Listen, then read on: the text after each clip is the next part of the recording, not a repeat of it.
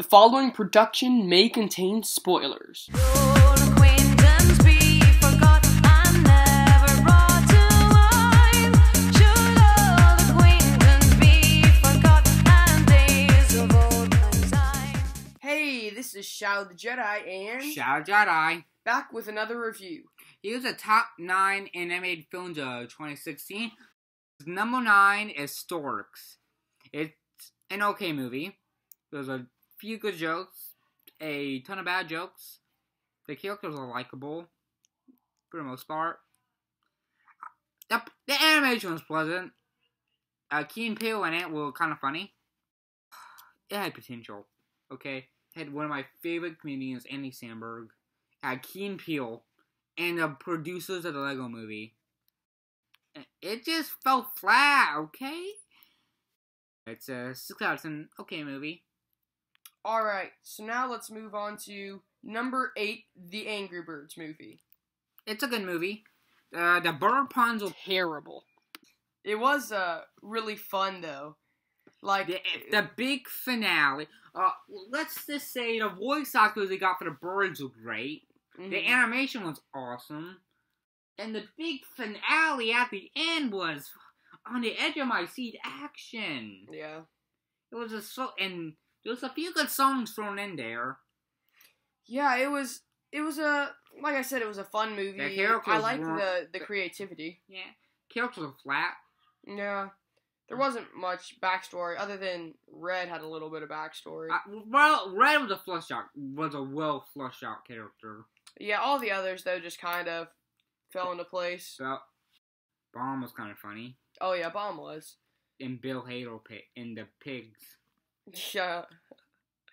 The Angry Birds movie is a seven out of ten good movie. Now let's talk about the Secret Life of Pets.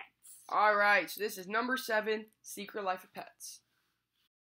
All right, so the Secret Life of Pets, uh, kind of a copy of Toy Story, but it's still really good It- it animation held up. and good characters. Uh, characters are inspiring. Actually, gets off. I think they make you get off your butt and do something in your life.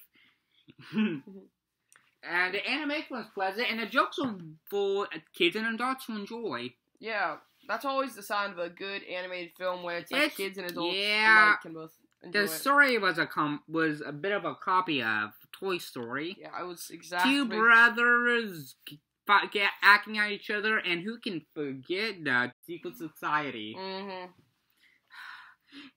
The animation is pleasant. The characters are likable and inspiring. hmm The jokes are funny. Yeah, it's it's like a good movie. There's not anything super bad about it, but there's not anything that stands out either. Other than Animation's good. Jokes are really funny. Yeah. What would you rate it? Seven out of ten, good movie. All right. So now let's move on to number six, Moana. Let me just say, I'm not a big fan of musicals.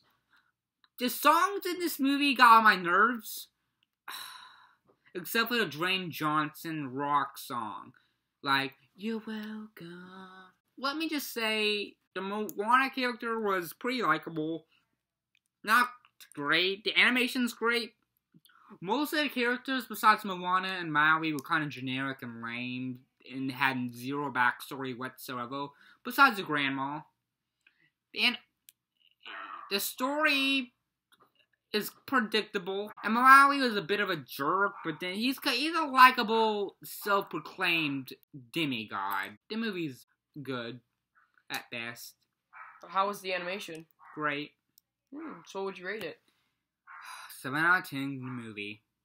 All right. So now let's move on to number five, Sing, by Illumination. We did a review on this, so go check it out. Uh, characters were good.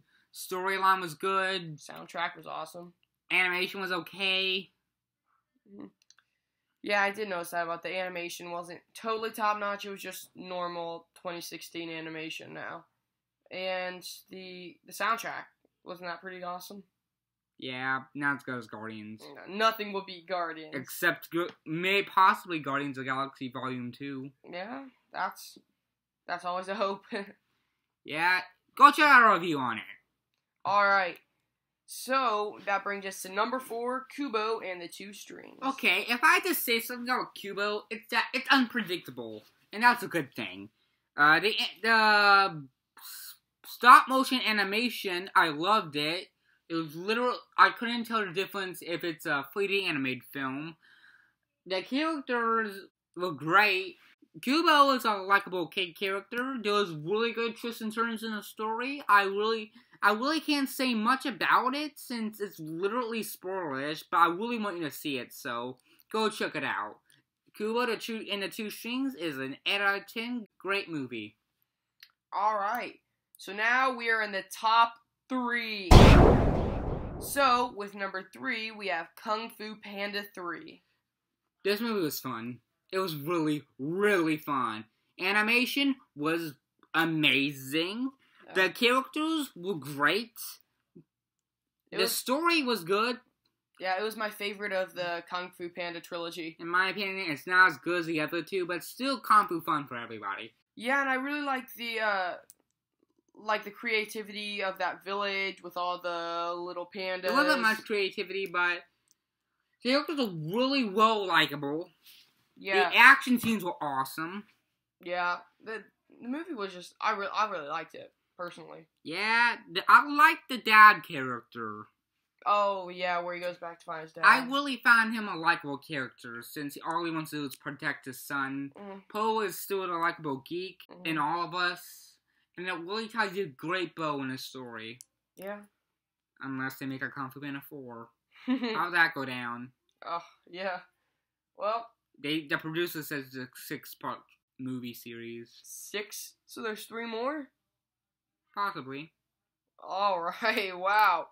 Well, with that, we're gonna head to number two, Finding Dory. This is a great movie. Yeah, I really like animation it. was great. I liked new new new characters. The story was suspenseful Yeah, I didn't really know what Disney was gonna do with the sequel. and but- emotional. In my opinion, it holds up well with the original. Yeah, I think maybe it might have even surpassed it. Possibly. Yeah, Depends on how you're looking at it. Like animation, I mean, Finding Nemo was the animation was good for its time. it was 13 years ago.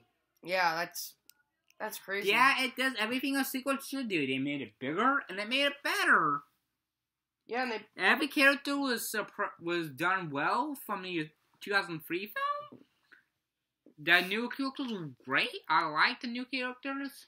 and they made Nemo's world a lot bigger, so now they can expand onto it. Yeah, I like. I like the scenes they went through. Yeah, and I like that it was it kind of followed up from the first movie. Like it wasn't its own separate story. I kind of like that it still followed. It still goes into place with the original movie. Uh, there's a few flaws, like Mhm. Nemo and Marlin were had no place in the movie at all, Yeah, they. I mean, and an octopus driving a truck. But there's Yeah. some good. The, the, but the emotional aspect holds it up pretty well.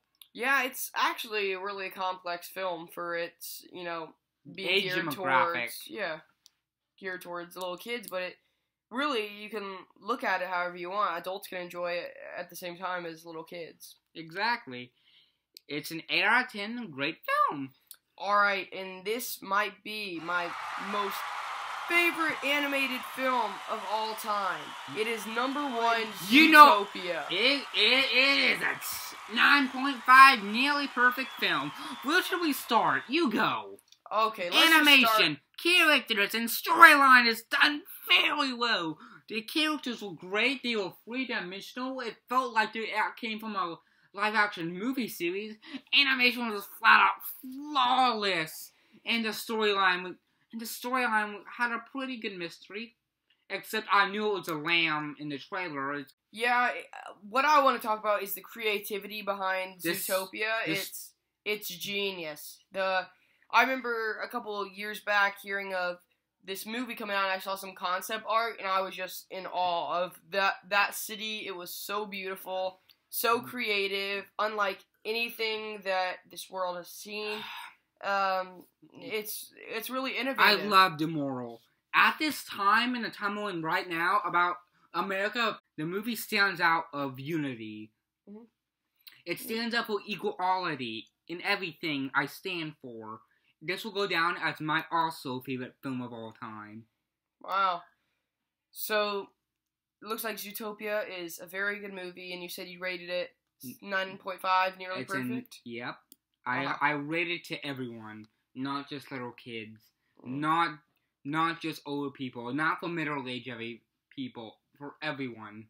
Yeah, because this movie can be taken multiple ways. It's an it, it seems it's more like a dark film than anything. Yeah, I, I mean, There was some dark moments. Just a few jump scares thrown in. yeah, it was it was beautiful. The, Judy was a very likable character and well motivated. hmm Nick was a great, was a very likable sw- Yeah. swindler. Yeah, Yeah, I- altogether three dimensional character. amazing film. Nine point five, nearly perfect film. All right. And with that said, that concludes our top nine animated films of 2016. Mm, let's hope that 2017 gets us great anime features too. This Alright. is Shadow Jedi signing out, and also Shadow Jedi signing out. And goodbye, good night and goodbye. Happy New Year!